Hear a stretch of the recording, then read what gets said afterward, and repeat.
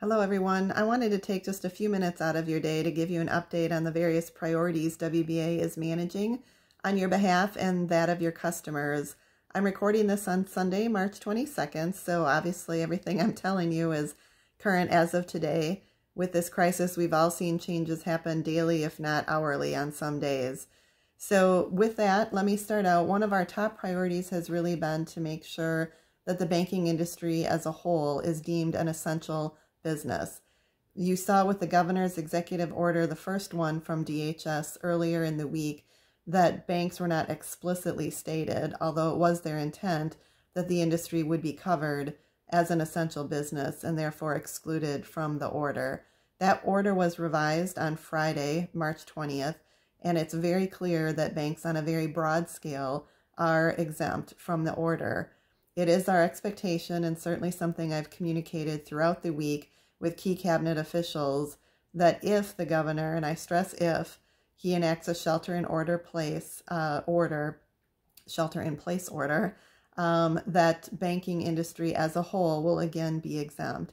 We've seen some mistakes really happen in other jurisdictions where specific job functions of industries like the banking industry were noted. And of course, they left out many key people that really need to be able to get into a building if necessary to help make sure all of the operations of a bank function. So do rest assured and please look at our landing page, which has the updated order from Friday that shows you the language in terms of the whole industry being exempt from the current order that's out there. The governor did state on Friday during his press conference that he's not expecting to issue a shelter in place order. Certainly, we all hope it does not get to that degree here in Wisconsin. But now with the state of Illinois uh, putting that order in place, uh, things certainly are coming a little closer to home. I also want to reassure you that we have been working quite a bit uh, at the federal level on a variety of key legislative issues that affect our industry that we need some relief on. The first of which is a transaction account guarantee program.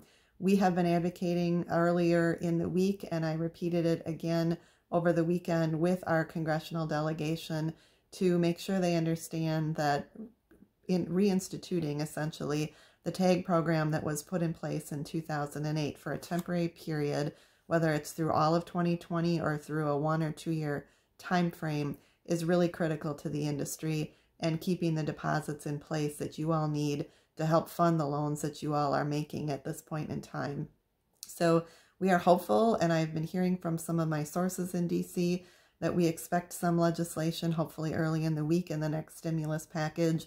But even today, I started seeing that there's some politics, of course, at foot, some partisan bickering going on in Washington, and we do need that to end in order to stay focused on the mission of what we all need to get done legislatively. In addition, I've been hearing a lot of complaints about appraisers uh, of course, understandably, uh, not wanting to go into people's homes at this point in time to do appraisals, which are effectively halting the mortgage origination in a lot of your banks. That too is a priority, requesting relief, either in terms of no longer requiring full blown appraisals uh, and instead replacing that with something different like evaluations that the bank can do using either tax assessments, drive by uh, visuals, or even doing an appraisal from the outside of a building rather than the interior of the building. In addition, obviously, we've been working on various programs, both at the state and federal level, with again key cabinet officials here in Wisconsin, in addition to at the federal level, our congressional delegation, to make sure we can continue to get some relief for your business customers through the banking industry. Many of you saw WEDC at the state level initiated a $5 million grant program to help affected businesses that have 20 employees or less, but that program is right now being run only through CDFIs and only for CDFI customers. So I've been working quite a bit with the cabinet secretary as well as others to make sure that the next tranche of money that comes down is such that it goes to the banking industry as well to help all of your customers in addition to the CDFI customers that are already being helped. On the legislative front and regulatory front, there's a whole host of more issues I could talk about that are priorities, but in summary, please know that we are working on your behalf. Make sure you and your team are looking at our landing page every day. We update information there. We add to the complimentary webinar programs we've been putting on to help keep your staff educated and informed.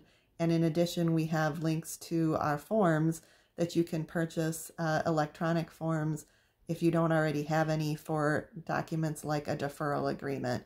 So please do stay in touch with us if you have any questions or you would like us to make sure we understand what some of the concerns are that you're seeing, what you're hearing from your customers. Please email me at any time or call me. If I'm not in the office, my phone does ring to my cell phone. So thank you for all your support through this. Together, I know we will get through all of this. And again, I hope you all stay very healthy and well. Thank you.